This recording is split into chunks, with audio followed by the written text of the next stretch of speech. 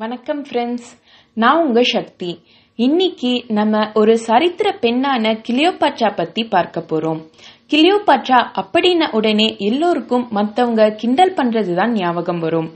நீ என்ன பெரிய கிளியோபாட்ராவா அப்படின்னு நீ என்ன அழகியா அல்லது திறமைசாலியான்னு சொல்லுவதற்கு எக்ஸாம்பிளா சொல்லுவாங்க. ஆனா ரொம்ப பேருக்கு யார் இந்த கிளியோபாட்ரா அவங்க ஏன் இத்தனை வருஷம் கழிச்சும் இவ்வளோ ஃபேமஸா இருக்காங்கன்னு தெரியாது.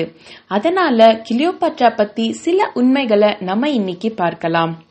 முதல்ல கிளியோபாட்ராவோட பூர்வீகமும் அவங்களோட குடும்பத்தை பத்தியும் பார்ப்போம். கிளியோபாட்ராவோட தந்தையின் பெயர் டானமி டுவெல். அவங்க அம்மாவோட பெயர் கிளியோபாட்ரா ஃபைவ். அவங்க பிறந்தது சிக்ஸ்டி நைன் பிசில இருந்து சிக்ஸ்டி எயிட் பிசியாக இருக்கும்னு சொல்லப்படுது.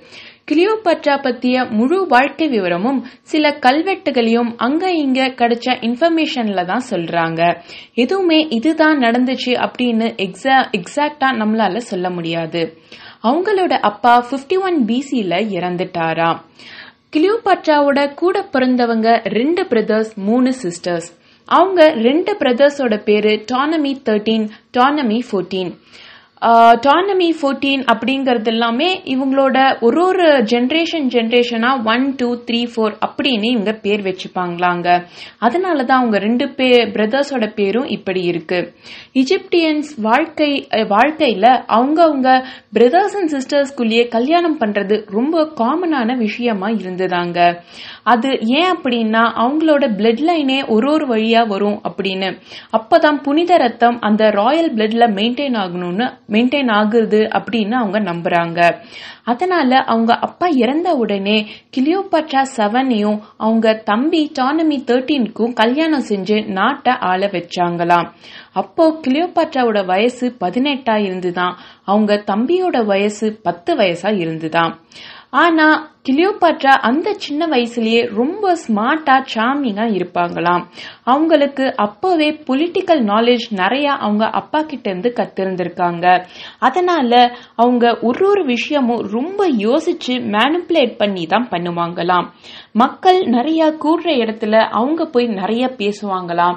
மக்களோட டாக்ஸ் மணியை வச்சு அவங்களுக்கு நிறைய உதவிகளும் செய்வாங்களாம். இதனால மக்கள் மத்தியில கிளியோபாட்ராக்கு ரொம்ப நல்ல பேர் வந்துதான். எல்லோருக்கும் கிலோபாட்ராவை ரொம்ப பிடிக்க ஆரம்பிச்சுதான். அதனால அவங்க காயின்ஸ் சொல்லுவாங்க. ஸோ அந்த காயின்ஸ் வச்சுதான் அவங்க இப்ப நம்ம நாட்டில் ரூபான் இருக்கிறதுக்கு பதில அதுக்கு முன்னாடி அவங்க காயின்ஸ் வச்சிருந்தாங்க. ஸோ அதுக்கு பின்னாடி கிளியோபாட்ராவோட முகத்தை அவங்க வச்சாங்களாம். நிறைய டாக்குமெண்ட்ஸ்ல கிளியோபாட்ராவோட பேரே மென்ஷன் ஆயிருந்துதான் அதனால டானமி தேர்ட்டீன் அவரோட பேரு சுத்தமா யாருக்குமே தெரியாமையே போயிடுச்சாம். இதனால நம்மள மட்டும் இந்த நாட்டு மக்கள் எல்லாம் ஒதுக்கி வைக்கிறாங்களேன்ற கோபத்துல டானமி தேர்ட்டீன் கிளியோபாட்ராவை நாடு பண்ணிட்டாராம் அவங்கள சிரியாவுக்கு அனுப்பிச்சு வச்சாராம். அதனால கோபமடைஞ்ச கிளியோபாட்ரா நம்ம ஒரு பெரிய படைய திரட்டி அந்த ஈஜிப்ட்ல நம்ம திரும்பி போகணும்னு நினைச்சாங்க. ஆனா ஒரு பெண்ணா இருந்து அந்த காலத்திலேயே ஒரு படைய திரட்டுறதுங்கிறது ரொம்ப பெரிய விஷயமா இருந்தது. ஆனா கிளியோபாட்ரா அதவும் செஞ்சாங்க. அவங்க என்னதான் படைய திரட்டினாலும் ஒரு பெரிய நாட்டோட ஹெல்ப் இருந்துச்சுன்னா ஈஸியா அந்த போர்க்களத்துல டானமி தேர்ட்டீனை தோக்கடிக்கலாம்னு நினைச்சாங்க. அப்பொழுது ஜூலிய சீசருங்கிறவரு ரோம் ஜெனரலாக ரோம் நாட்டில் இருந்தாரு. அவரு மிகப்பெரிய ராஜாவாக இருந்தாராங்க.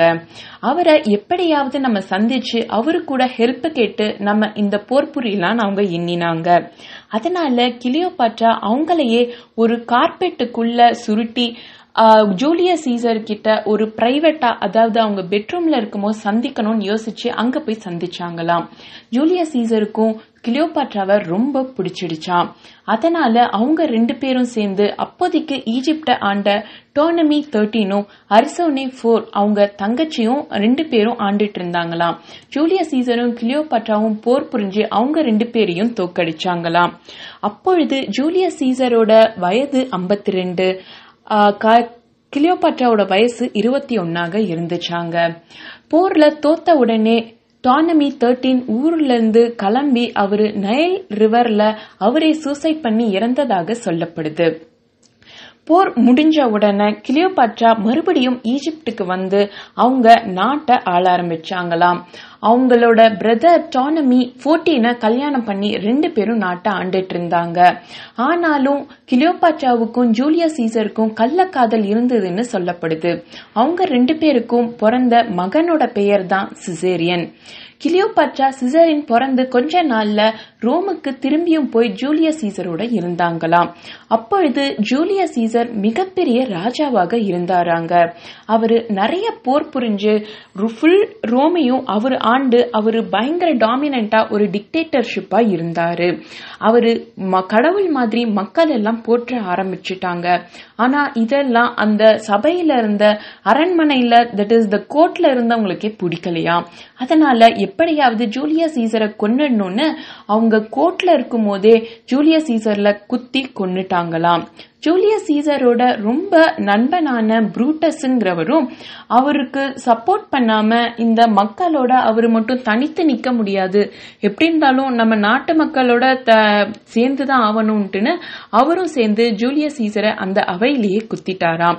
அதை பார்த்த உடனே ஜூலியஸ் சீசர் ரொம்ப மனசு உடைஞ்சு யூடியூப் புரூட்டஸ் அப்படின்னு கடைசியா சொன்னாராம். அந்த வேர்ட் இப்பவுமே ஷேக்ஸ்பியர்ல ரொம்ப ஃபேமஸாக இருக்குது. ஜூலியஸ் சீசர் இறந்த உடனே கிளியோபாட்ராவுக்கு நம்ம இன்னும் ரோம்ல இருந்தா பாதுகாப்பா இருக்காதுன்னு சிசரியனை கூட்டிட்டு மறுபடியும் ஈஜிப்டுக்கே போயிட்டாங்களாம். ஈஜிப்டுக்கு வந்த உடனே டானமி ஃபோர்டீனை அவங்களே அவங்க விஷம் வச்சு கொண்டுட்டாங்களாங்க அவங்க ஏன் கொன்னாங்கிறது அப்படின்னா அவங்களோட பையன் சிசேரினே இவங்களுக்கு அடுத்து நாட்டை ஆழணுங்கிற காரணத்துக்காக டானமி ஃபோர்டீன் ஒரு தடையா இருக்கக்கூடாதுன்னு அவங்களே கொன்னுட்டாங்கன்னு சொல்லப்படுது. அதுக்கப்புறம் ஜூலியஸ் சீசருக்கு அடுத்து அந்த ரோம் நாட்டை ஆக்டோவியன் சீசர் அதாவது அடாப்டட் சன் ஆஃப் ஜூலியஸ் சீசரும் மார்க் ஆண்டனி லுபீடியஸ் அப்படின்னு மூணு பேர் ரோம் நாட்டை மூணா பிரிச்சு ஆள ஆரம்பிச்சிட்டாங்க. ஈஜிப்டுக்கு வந்த கிளியோபாட்ரா நாட்டை நல்லா ஆண்டாலும் அவங்களுக்கு ஒரு சேஃப்டி பர்பஸ்க்காக யாராவது கூட இருந்தா நல்லா இருக்கும் அப்படின்னு யோசிச்சு நம்ம யாருக்கூடையாவது சேரணும் அப்படின்னு ஒரு எண்ணம் அவங்களுக்கு இருந்துச்சாம். அப்பொழுது மார்க் ஆண்டனி கிளியோபாட்ராவை ஒரு மீட்டிங்க்கு கூப்பிட்டாராம். மார்க் ஆண்டனிக்கு கிளியோபாட்ராவை சின்ன வயசுலயே தெரியுமாங்க. அதனால கிளியோபாட்ராக்கு மார்க் ஆண்டனிய தனக்கு பிடிக்கும் அப்படின்ற ஒரு எண்ணம் அவங்களுக்கு இருந்துச்சு. இதை நம்ம வச்சுட்டு எப்படியாவது மார்க் ஆண்டனி கூட சேர்ந்துடலான்னு ரெண்டு பேரும் அங்க மீட்டிங்ல சேர்ந்து அவங்க ரெண்டு பேரும் காதலிக்க ஆரம்பிச்சாங்களாம். மார்க் ஆண்டனிக்கும் கிளியோபாட்ராவுக்கும் பிறந்த குழந்தைகள் ஒரு twins Alexander Helios Cleopatra Selene. அதுக்கப்புறம் டானமி பிலோட்டபஸ்னு ஒரு பையனும் பிறந்தாங்களாம். கிளியோபாட்ராவும் ஆண்டனியும் அவங்க பசங்களுக்கு தான் நாட்டை பிரிச்சு கொடுக்கணும் அப்படிங்கிற எண்ணம் அவங்களுக்கு இருந்துச்சாம். அதனால டொனேஷன் ஆஃப் அலெக்சாண்ட்ரியா அப்படிங்கிறது அவங்க ஒன்னு ஆரம்பிச்சாங்களாம். அதாவது லேண்ட்ஸ் ஆஃப் ரோம அவங்களோட பசங்களுக்கே அவங்க பிரிச்சு கொடுத்தாங்களாம் அதெல்லாம் மக்களுக்கு சுத்தமா பிடிக்காமையே இருந்துச்சாம். மார்க் ஆண்டனியும் ஆக்டோவியனும் ஒரு ட்ரிட்டி சைன் பண்ணாங்களாம். அப்பொழுது ஆக்டோவியனோட சிஸ்டரை மார்க் ஆண்டனி கல்யாணம் பண்ண வேண்டியதா இருந்துதான் ஆனாலும் மார்க் ஆண்டனிக்கு கிளியோபாட்ராவை ரொம்ப பிடிச்சதுனால ஆக்டோவியனோட சிஸ்டரை அவங்க டைவர்ஸ் பண்ணிட்டாங்களாம்.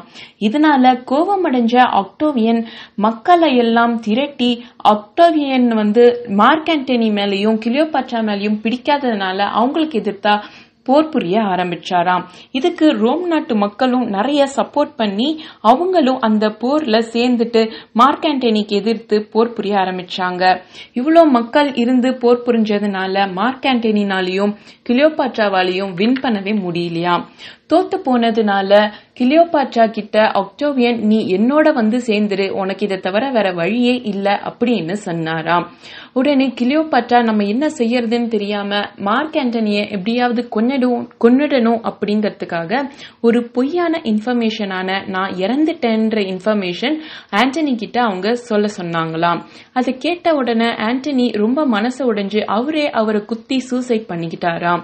ஆனா குத்தின உடனே அவரு இறந்து போகும்பொழுது கிளியோபாட்ரா கிட்ட வந்துட்டு அவங்க கையிலேயே இறந்ததாக சொல்லப்படுது.